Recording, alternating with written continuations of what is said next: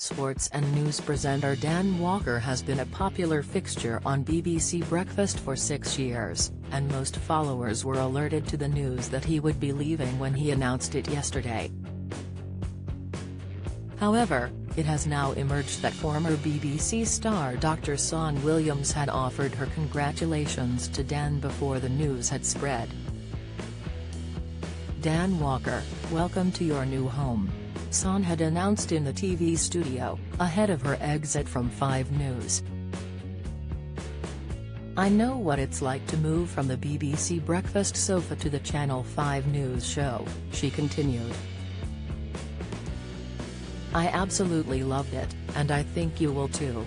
She punctuated her point by smilingly telling the 45-year-old to have fun.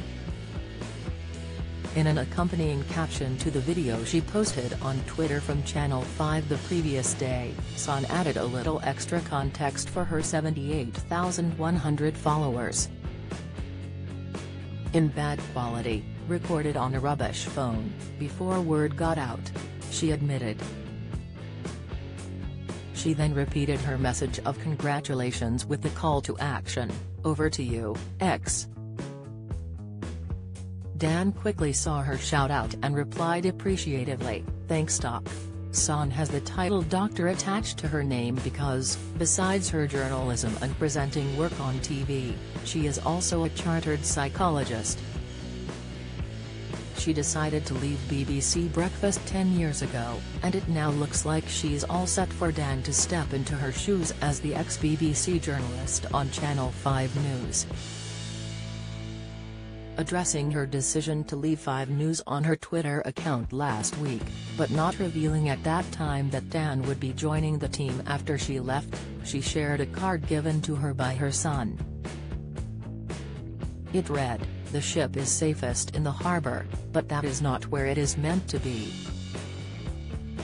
It's my last week hosting at 5 underscore news and I'm getting ready to set sail again, she announced. Meanwhile, for his part, Dan name-checked her in a video post on his own Twitter account. What a challenge to try and step into the shoes of Sian Williams, who I know is so popular with not only the team there, but also the audience, he exclaimed to over 753,000 followers.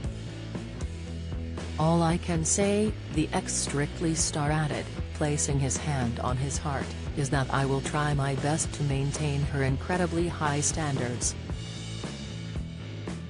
Dan added as explanation for his move, Channel 5 came along with big ambitions, big plans, and I don't think opportunities like this come around very often in TV.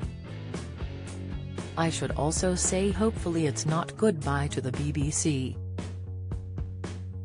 I've had the privilege of working with some incredible people on iconic programs over the years, shows like Football Focus, like Match of the Day, quiz shows, World Cups, Olympic Games, shows I could only dream of being involved in when I was a kid. Hopefully this won't close the door on that, but also can't wait to make some big programs for Channel 5.